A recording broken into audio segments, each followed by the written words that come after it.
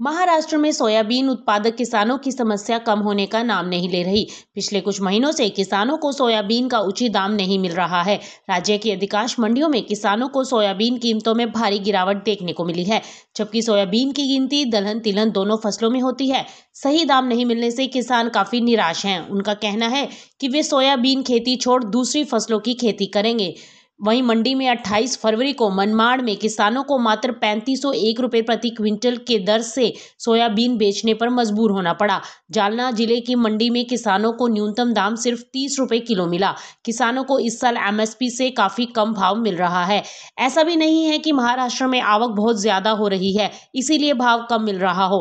कई मंडियों में आवक कम पहुँच रही है, बावजूद इसके किसानों को सही दाम नहीं मिल रहा। व्यापारी किसानों से सोयाबीन इकतालीस सौ प्रति क्विंटल क्विंटल के हिसाब से खरीद रहे हैं, जिससे किसान काफ़ी हैरान है, क्योंकि छियालीस सौ तो इसकी एमएसपी है। महाराष्ट्र में सोयाबीन प्रमुख फ़सल है, इसे नकदी फ़सल माना जाता है। इसीलिए इसकी खेती बड़े पैमाने पर की जाती है, किसानों का कहना है कि मिल रहे कम भाव से अपनी लागत भी वो नहीं निकाल पा रहे हैं।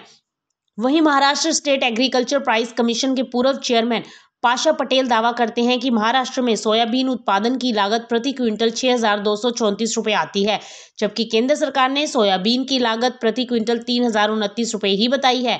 उधर केंद्र सरकार ने सोयाबीन की एमएसपी में तीन सौ रुपये का इजाफा करके दो हज़ार तेईस चौबीस के लिए इसे छियालीस सौ रुपये प्रति क्विंटल कर दिया है।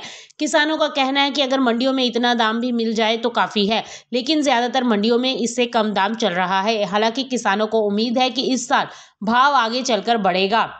महाराष्ट्र में कपास, प्याज और गन्ने के अलावा सोयाबीन ही सबसे महत्वपूर्ण फ़सल है। सोयाबीन को तिलन और दोनों दोनों फ़सलों में माना जाता है।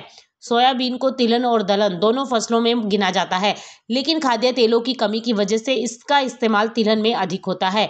भारत खाद्य तेलों पर दूसरे देशों पर ही निर्भर है। बावजूद इसके, किसानों को अच्छा दाम नहीं मिलता। ये काफ़ी निराशा की बात है।